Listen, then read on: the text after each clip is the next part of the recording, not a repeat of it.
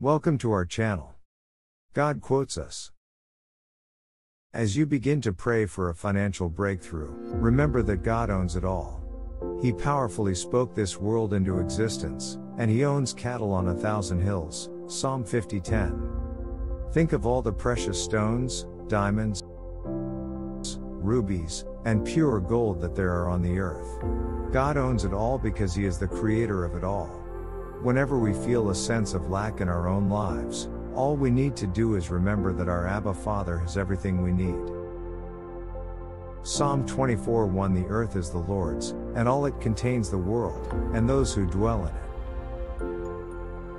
Haggai 2 8 The silver is mine and the gold is mine, declares the Lord of hosts.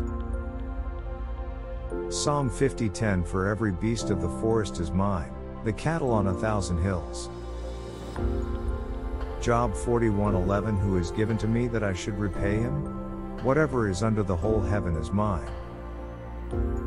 Psalm 104:24 O Lord, how many are your works? In wisdom you have made them all. The earth is full of your possessions. Acts 4:24 Sovereign Lord, they said, you made the heavens and the earth and the sea, and everything in them.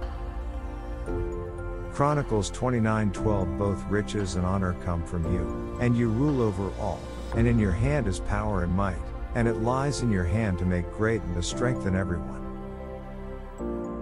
Psalm 50:12 If I were hungry I would not tell you, for the world is mine, and all that is in it. Isaiah 45:3 I will give you hidden treasures, riches stored in secret places, so that you may know that I am the Lord, the God of Israel, who summons you by name. Prayer for financial breakthrough. Lord, thank you that you created the heavens and the earth, and everything in them. Both riches and honor come from you, and you own everything. As I pray for a financial breakthrough in my life, help me to remember everything I need comes from you. You are a gracious God, and you willingly give and provide all that I need.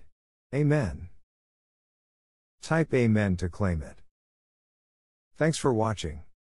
Don't forget to like and subscribe our channel. God quotes us.